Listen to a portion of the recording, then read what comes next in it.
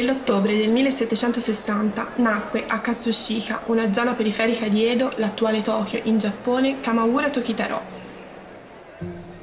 Fin dalla gioventù, all'interno dell'ambiente molto rigido delle botteghe artistiche che producevano le tradizionali stampe sul legno o kiyoe, iniziò a farsi notare per lo stile particolarmente personale che fondeva le tradizioni giapponesi alle tecniche prospettiche importate dall'Europa.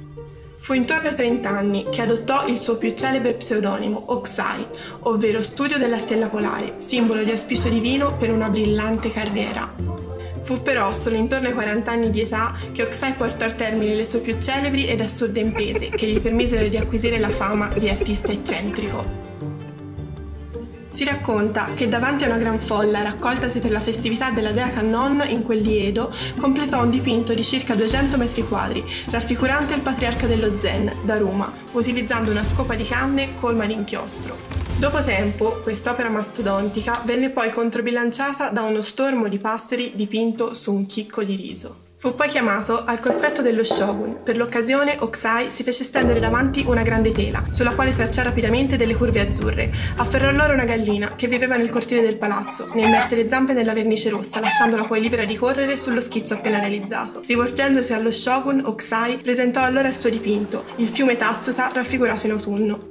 Divenuto ormai celebre, verso i 50 anni di età, Oksai pubblicò allora la serie manga, ovvero gli schizzi sparsi. Oksai, secondo uno spirito straordinariamente ironico per la cultura nipponica, insegnava come osservare la natura nella sua interezza, quindi anche nei suoi aspetti più bizzarri e grotteschi, per giungere a un disegno di sintesi che potesse arrivare all'essenza dei movimenti e delle forme del mondo. Numerosi furono gli artisti europei che si innamorarono di Oksai e di altri celebri autori nipponici, dando vita al cosiddetto giapponismo. Van Gogh, affascinato, scriveva a suo fratello Studiando l'artista giapponese si scopre un uomo saggio, filosofo, intelligente che passa la sua vita osservando un unico filo d'erba. Prima di essere un grande maestro, Oksai fu infatti per tutta la sua lunga vita un attento studente, sempre alla ricerca della perfezione. Nei molti disegni che ho prodotto in questi 70 anni non c'è nulla degno di considerazione. A 100 anni avrò forse raggiunto la dimensione del divino e del meraviglioso. Raggiunti i 110, allora anche solo un punto o una linea saranno dotati di vita propria. Se posso esprimere un desiderio, prego quelli tra voi che godranno di una lunga vita di verificare se quanto affermo non sarà veritiero.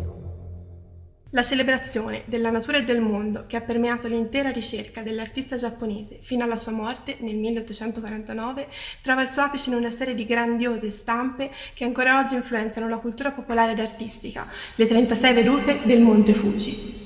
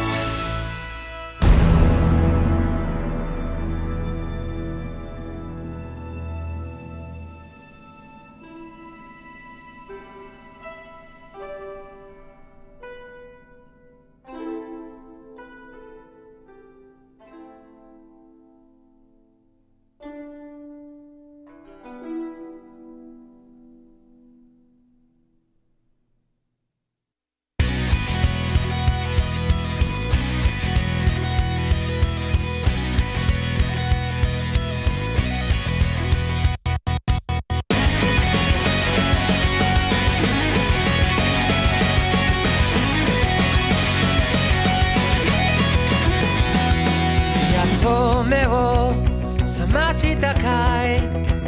それなのになぜ目も合わせやしないんだい？遅いよと怒る君。これでもやれるだけ飛ばしてきたんだよ。